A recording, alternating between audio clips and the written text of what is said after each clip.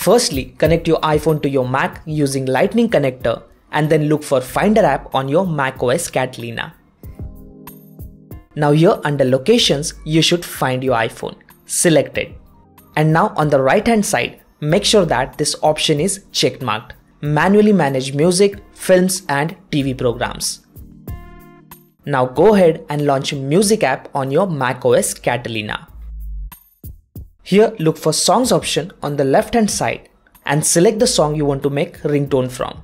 You want to right click or control click the song and select get info option.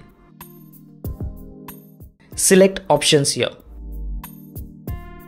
And now you want to change the song length. Firstly, mark these checkboxes.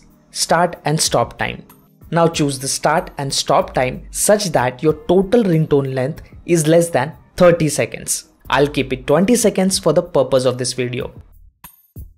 Now hit OK. Now keep the song selected and head over to File. Select Convert and create AAC version. This should create a new AAC version of the song with the reduced time length. Now you want to right click or control click this new song and select show in finder. Now this M4A file is your new AAC version of the file. You want to copy this file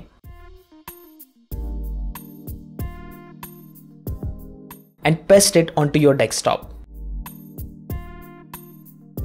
Now let's minimize the music app and move this song to the left hand side of the screen for the easy access.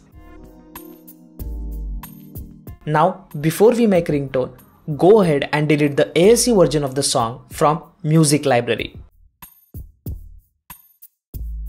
Select delete song and move to bin. Now you want to rename the file extension of this song.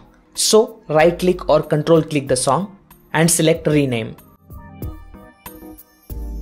You want to change this M4A to M4R and hit return key on your keyboard. Select use M4R. Now select your iPhone under devices section. Now you want to select and drag this ringtone file onto your iPhone. That's all. You have successfully copied your ringtone to your iPhone. Now head over to your iPhone and you should find your new ringtone. Select it to set it as your default ringtone. And that's how you make ringtone on new macOS Catalina.